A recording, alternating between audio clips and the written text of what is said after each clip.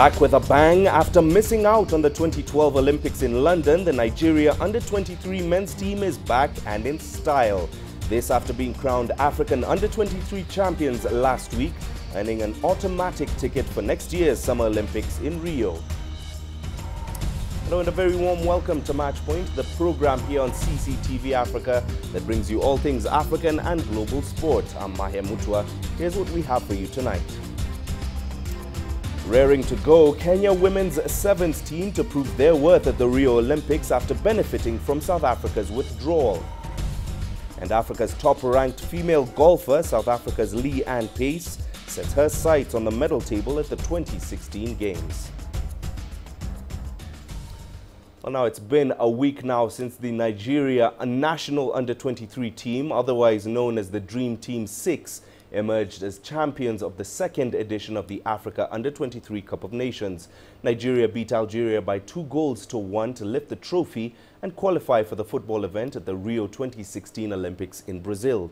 All attention is now shifted to that event and Nigerian football fans are hoping that the country can repeat the feat it achieved at the Atlanta Olympics when it became the first African and non-European or South American team to win the gold medal. CCTV's Deji Badmus kicks off our program. The Dream Team 6 went into the final of the Africa Under-23 Cup of Nations as underdogs. Algeria, who had been very impressive in the earlier round of matches, were favourites. But at the end of 90 minutes in the main bowl of the Leopold Sedar Senghor Stadium in Dakar, it was Nigeria, former Olympics champion, that emerged victorious courtesy of two goals from midfielder Ogenekaro Etebo. The feat surprised many football fans in Nigeria who initially didn't give the team any chance at all. And though it may have been one week now since that final match took place, the fans are still talking about it. From the beginning of the competition, they started badly, but as they progressed to, to the next stage of the competition, they started getting themselves but I think they should just try and work uh, on their defense because when they started the competition, they, they, it's not that they are not playing well, but the defense they uh, they are conceding they are just conceding goals. We did pretty well. We started slowly, and uh, gradually as the competition progressed, we were able to pick up ourselves some uh, defensive uh, blunders, and eventually we won the tournament. So I think it was good. It was a good outing for us. Coach Samson Siasia has conceded that indeed the team has a lot to improve on, promising to work on all its mistakes before the Olympics in Rio. The fans tend to believe him. They say they are confident they would see a very much improved Dream Team 6 when the boys line out for the Olympics just a few months away. In the Olympics, we'll be coming against bigger countries. You know, this is Africa. we we'll go to other continents, like we have countries like Brazil, Argentina, USA, and uh, many other teams. But I think we can still try our best and still win it because I've been hearing of the inclusion of uh, Ahmed Musa or Johnny Ighalo, and these are fantastic players that can improve the squad. I think we have a chance, a good chance of winning the competition. I think we have enough uh, attacking force which can take us far at the Olympic, uh, at the world stage. But what we think, what I think we have to do more on is our defense line. So, uh, but I think uh, with the Siasia's uh, knowledge, we can do pretty good. Coach Samson Siasia is no stranger to the football events of the Olympics. He led Nigeria to the final of the Beijing Olympics in China, where the country finished as runners-up. Nigerian football fans will be expecting him to top up that performance in Rio by winning the gold medal, like that team did back in Atlanta in 1996. Deji Badmus, CCTV, Lagos, Nigeria. Right now, joining us with more on that story is sports analyst Solomon Ajuzuiogo from Lagos, Nigeria. Uh, Solomon, thank you for joining us. Uh, they were not there in the last Olympic Games. They have now qualified for the Rio Olympics uh, next summer. What different strategy did the team have this time round as compared to the previous tournament? Um, sometimes it's not about different strategy, it's about a playing style. And the coach who is taking Nigeria to this tournament, has a playing style. He has um, been able to guide the under-20 team um, to a silver winning uh, medal. He He's been able to guide the same Olympic team um, in Beijing to a silver medal uh, win. Uh, this time, we hope he'll go a step further to win. Uh, one thing you, you'd have to understand is that he has a way with putting his teams together. Despite the challenges he had putting this one together, the team always has a way to play. He has a way of getting them to play to his taste. He plays stylish football, and once you stick with your philosophy, just keep at it, it gives you results in the end of the day. I think that's about what Coach Samson Siasia is about, and not about a different strategy, basically. Now, of course, uh, Solomon, we have seen a lot of success for young teams in Nigeria, uh, but this is simply not being replicated by the senior team. What exactly is the problem? Well, uh, uh you see, at, at, the senior level, um, we, we still need to get our acts together. Um, the senior football team uh, or senior football is not um, uh, basically about talent. It's about um, high level of professionalism. At the eighth grade level, is about talent first and foremost. You need to have a basic skill, basic understanding of how the game is played, and then talent is it. But at the senior level, it is beyond talent. There's a whole lot of um, support, a whole lot of science that is involved. I think that we have depended so much on the talents we've got more than um, develop, developing the potential that these talents have always shown us. Until we get to the point where we realize that uh, uh, we need to go beyond just uh, playing around talent and being professional enough, um, we, we won't be able to achieve anything at the senior level, basically. All right, Solomon, thank you very much for that. Indeed, hopefully plenty of good days ahead for young Nigerian football talent. Well, uh, that was Solomon Ajuzuyogo joining us live from Lagos, Nigeria. He is a sports analyst there. Well, it's time now for us to take a quick break here on Matchpoint. Plenty more still to come, including Raring to go, Kenya women's sevens team to prove their worth at the Rio Olympic Games after benefiting from South Africa's withdrawal.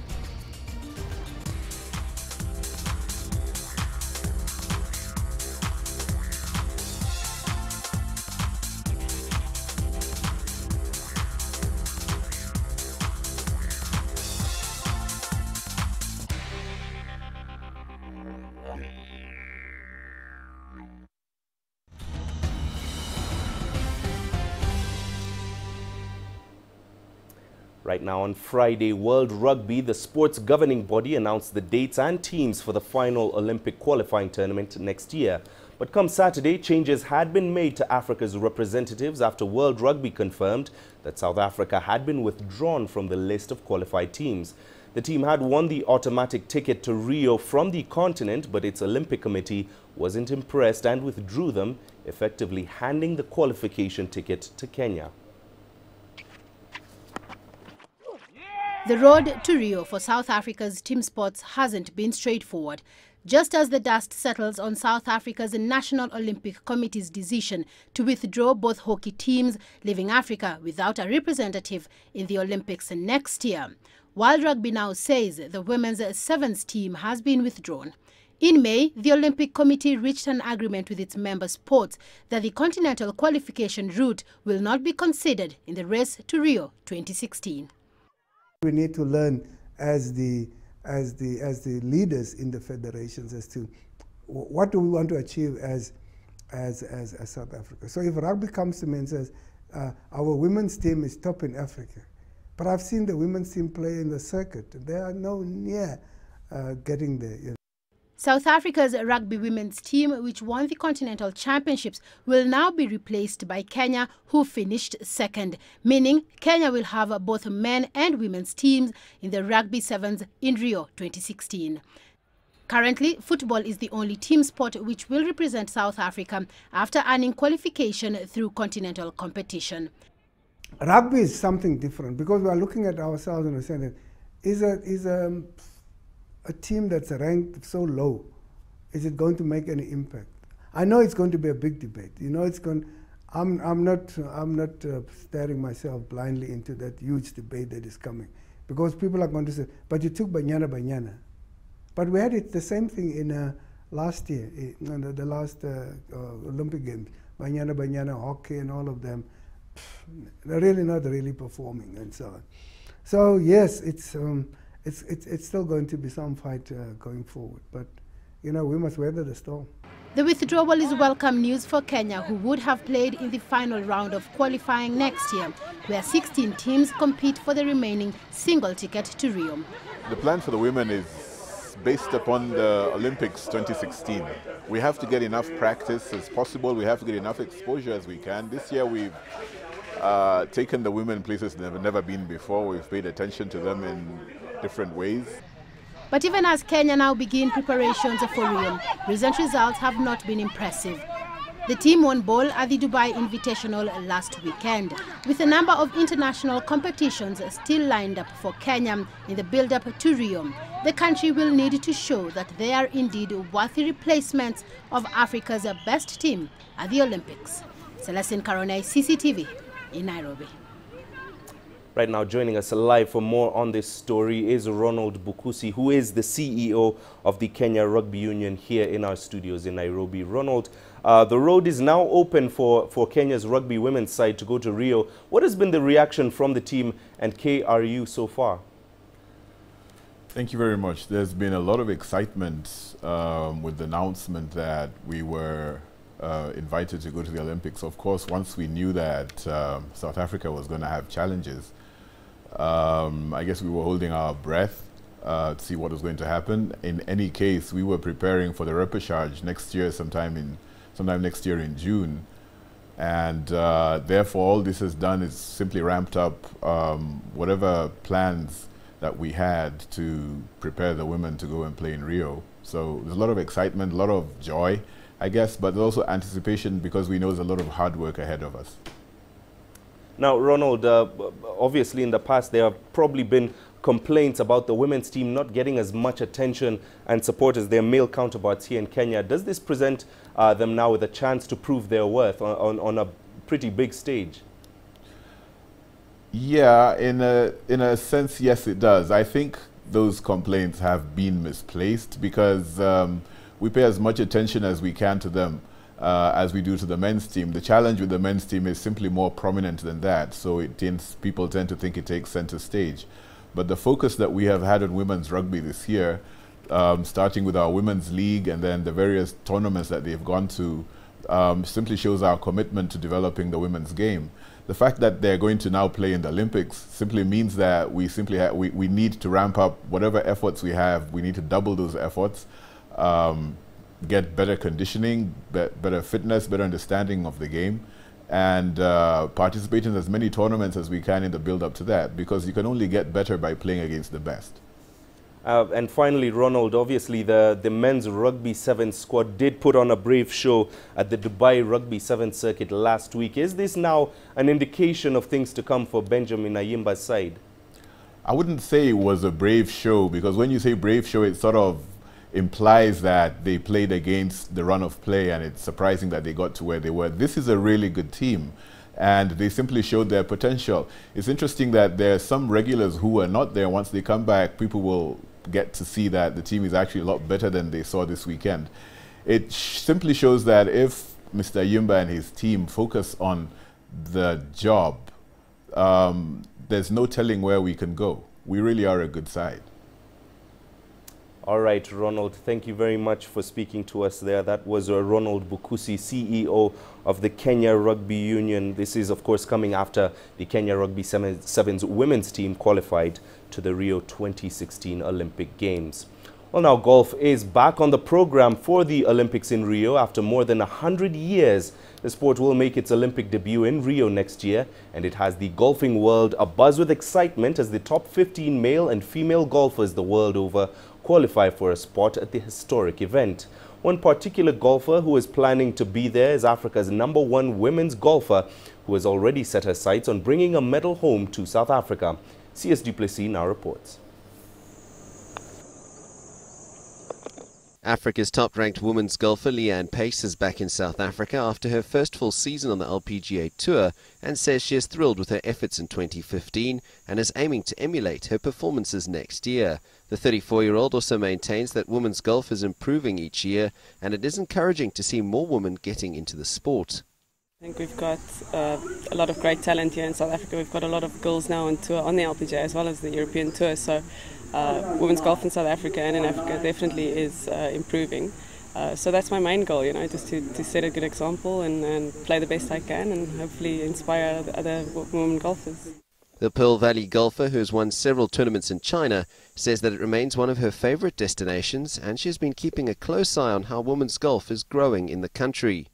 I actually really enjoy playing in China. I've got a few good friends from there. Um, and I think, you know, Chinese golf is really uh, improving. I think within a few years there's definitely going to uh, be a few youngsters coming up the ranks. Um, but yeah, like Shan Shan Feng, number six in the world. Another friend of mine, uh, Shi Yu Lin, just won on the European tour. So I think China's got a really good future ahead of it. And for myself, I enjoy going back there because it, it seems to be good fortune for me. Pace, who has implemented strength training into her preparations as well as managing her sleep properly while on the road, is aiming to make 2016 a massive year in her stellar career. Definitely a top 10, hopefully another W in there. Um, but uh, yeah, I'm just I'm training really hard for that, and I'm also working with a, a new mental coach now, uh, just goal setting and. You know the way he explains it, it's there, there's five percent extra needed, which doesn't seem like a lot, but you know at the top level, uh, you really have to put your mind, your body, and everything else into it. The two-time SA Open champion is eager to cement a top 10 world ranking, as competing at the Olympic Games is something she has always dreamt of. Yeah, definitely. It's one of my main goals ever since I heard it's on the table. I've, I've been gunning for that, so very excited. At the moment, I am qualifying, and hopefully, I can stay at the top. Although I'm sure there's a lot of golfers chasing me for that opportunity, but it'll be a huge honour and um, just amazing to be part of history. It's been a phenomenal year for Lee-Anne Pace, the reigning SA Open champion. Now shifts her focus to Rio next year, where she'll be hoping to ensure a top 10 world ranking. That will mean she'll be a part of history as golf makes its debut at the Olympic Games in 2016. CS Duplessis, CCTV, Cape Town. Let's take another short break here on Matchpoint. Plenty more still to come, including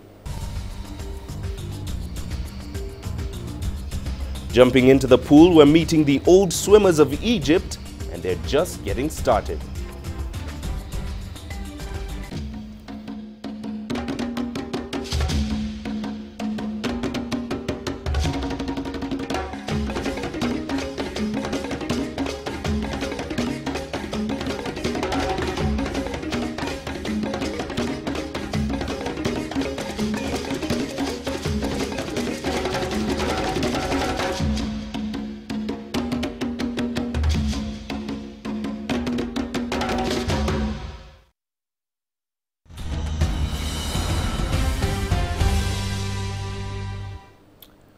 Welcome back. Well, now, have you ever thought that you're growing old or that your body can't take it anymore? Well, you may be about to change your mind. Our correspondent in Egypt, Adel Mahroui, tells us about the world ranking swimmers who've started competing at the ripe old age of 50 years and older. This is the Heliopolis National Competition for Masters Swimming. It's one of five annual competitions held in Egypt for swimmers aged 25 years and up. And it goes up till anyone can. As this gentleman, he is 87 years old and proud to have the power to swim till this day. Egypt is nearly non-significant in professional swimming, but when it comes to the Masters, it stands out. As long as you go up, you are better. Because you are going up, the competition is less many uh, swimmers leave the field for uh, health for any any reasons and so who reaches up to the 50s 70s 80s they are better thanks god we're still alive till 80s In the last few years, master swimmers have been gaining dozens of international medals. Last year, they were the only team to bring the country five golden medals. It forced the Egyptian Federation to change its position and start funding this team. The support came at a critical time when the competition is starting to become more difficult. Internationally, it's becoming more and more popular and all the people are coming back. We went in the first com international competition were to New Zealand. The competition was not that hard. Now if you go, we went back uh, Canada the, uh, last year, it was a very hard competition because all the strong people are coming back.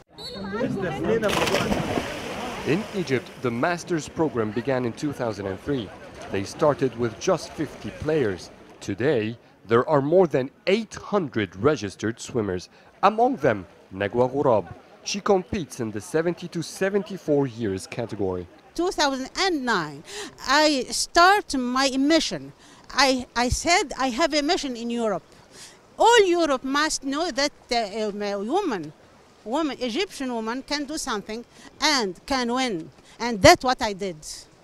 Since 2009 till now, I have about 36 uh, uh, international uh, medals and uh, five, six, seven, seven mondial world, yes. And the two podium, third in the world uh, in Kazan in, in Russia, 2015. Since 2009, Ghurab won 36 international medals in seven world championships.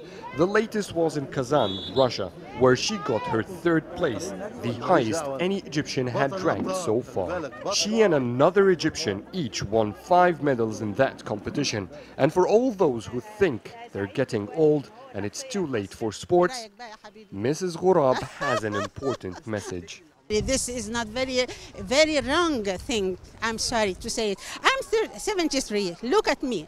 Everybody, look at me. yes. Ah, yes, I like to do everything. I, I like to create something.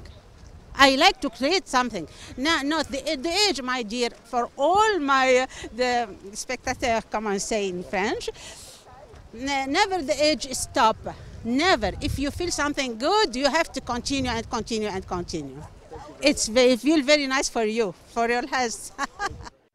there was an amazing spirit in this competition, a mature competitiveness among those wise swimmers, and a sensation that anything is possible. Their will is made of steel. The Egyptian master swimming team, particularly the seniors, are a great inspiration to the country. They've managed to make Egypt among the top three countries in many international competitions, and they still dream of achieving more. Adel Mahroui, CCTV, Cairo. Indeed, words to live by for a good long life. Finally, both finalists of tomorrow's FIFA Club World Cup final, Club Atletico River Plate of Argentina and Spain's Barcelona, each trained and held news conferences on Saturday at the Nissan Stadium in Yokohama. For River Plate team coach Marcelo Gallardo, Sunday's final presented a special opportunity for the South Americans to prove their worth against one of the world's strongest clubs. His team warmed up and trained at the venue for tomorrow's final, with the team exhibiting general ease despite the task ahead. The team reached their first ever final of the competition after they defeated Japanese side Sanfrecce Hiroshima and became the fourth Argentinian club to do so. Esperando, esperando ansioso un partido I think it's going to be a very meaningful match and I cannot wait. So the match tomorrow is going to be something that is going to reflect all the efforts that we have made so far. We have been in a special environment so far, traveling very far. We would like to make it very special. Buenas tardes. River Plate will participate in the final tomorrow. And that fact means that River Plate is a very strong team. They have a very good quality team. They can play in the top and at the bottom. They can create opportunities and the final will be a very interesting match.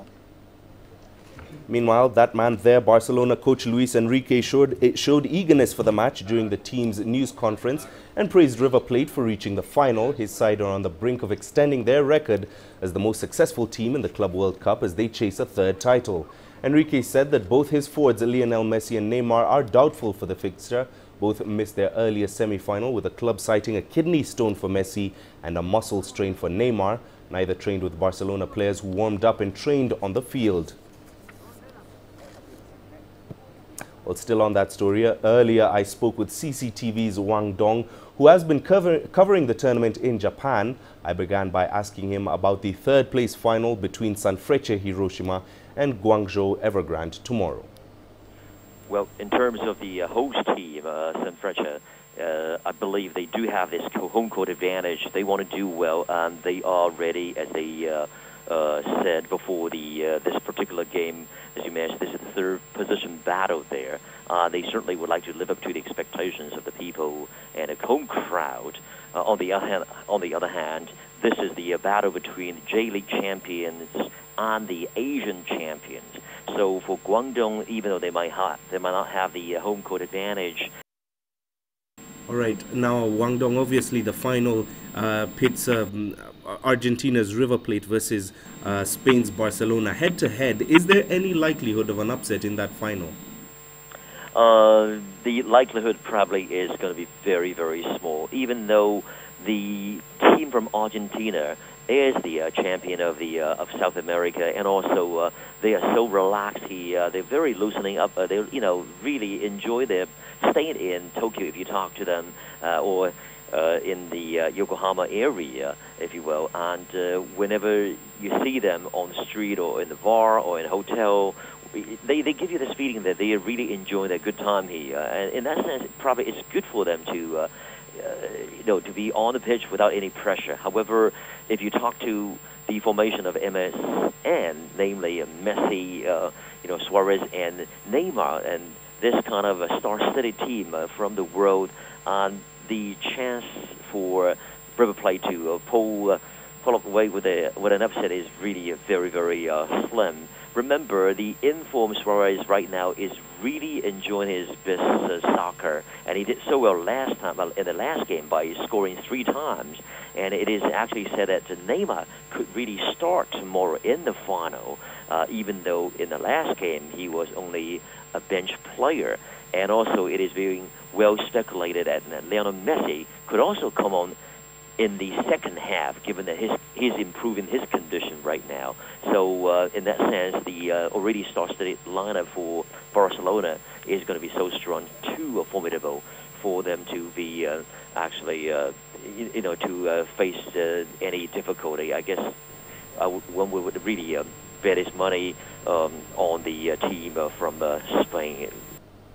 CCTV's Wang Dong speaking to us live uh, earlier on the phone from Yokoshi Yokohama, Japan, ahead of tomorrow's Club World Cup final. Well, that does it for this edition of Matchpoint. Remember, you can send your feedback, as always, to us, matchpoint at cctv.com, or you could visit our Facebook page and leave a comment there, CCTV Africa, and stay in touch with us on Twitter. The handle, as always, is CCTV News Africa. Thanks for watching. I'm Mahia Mutua. We leave you with this week's move of the week, which comes from the Bundesliga. It's Xabi Alonso's goal against Darmstadt on Wednesday.